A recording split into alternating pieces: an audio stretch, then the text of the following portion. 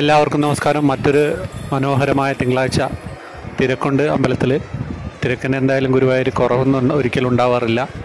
അപ്പോൾ ഇപ്പോൾ ഉത്സവത്തിന് മുന്നോടിയായിട്ടുള്ള കലശ ചടങ്ങുകളൊക്കെ നടന്നുകൊണ്ടിരിക്കുകയാണ് ഗുരുവായൂരപ്പന് മഹാകുംഭ കലശമാടി ഇന്നാണെങ്കിൽ ശാന്തി ഹോമ കലശാഭിഷേകം നടക്കുകയാണ്. സഹസ്രകലശ ഭാഗമായിട്ടാണ് മഹാകുംഭ കലശവും പ്രായശ്ചിത്ത ഹോമ കലശങ്ങളും ഞായറാഴ്ച ഗുരുവായൂരപ്പന് അഭിഷേകം ചെയ്തു.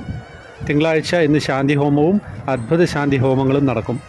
പുലർച്ചെ മൂന്നിന് തുടങ്ങി മണിക്കൂറുകൾ നീളുന്നതാണ് ഈ ചടങ്ങ്. ഹോമസംവാദം കലശ കുംഭങ്ങളിലാക്കി ഉച്ചപൂജയ്ക്ക് മുൻപ് അഭിഷേകം ചെയ്യും.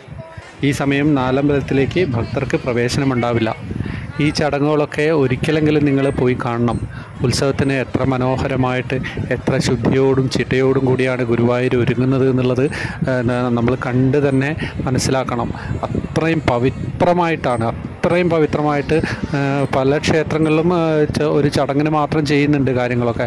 പക്ഷേ ഗുരുവായൂർ അതിമനോഹരമായിട്ട് അത്രയും ശുദ്ധിയോടുക്കെ അത്രയും ശ്രദ്ധിച്ച് അത്രയും ഭക്തിയോടെയാണ് ചെയ്യുന്നത്.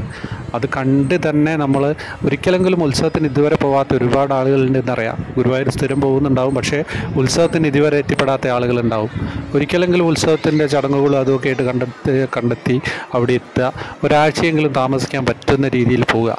പറ്റും. ഒന്ന് ശ്രമിച്ചു നോക്കിയാൽ നമുക്ക് വേറെ എവിടെയെങ്കിലും പോകുന്ന മാതിരി അല്ല. അതിലും മനോഹരമായിട്ട് പോകേണ്ട ഒരു സ്ഥലമാണ് ഗുരുവായൂർ.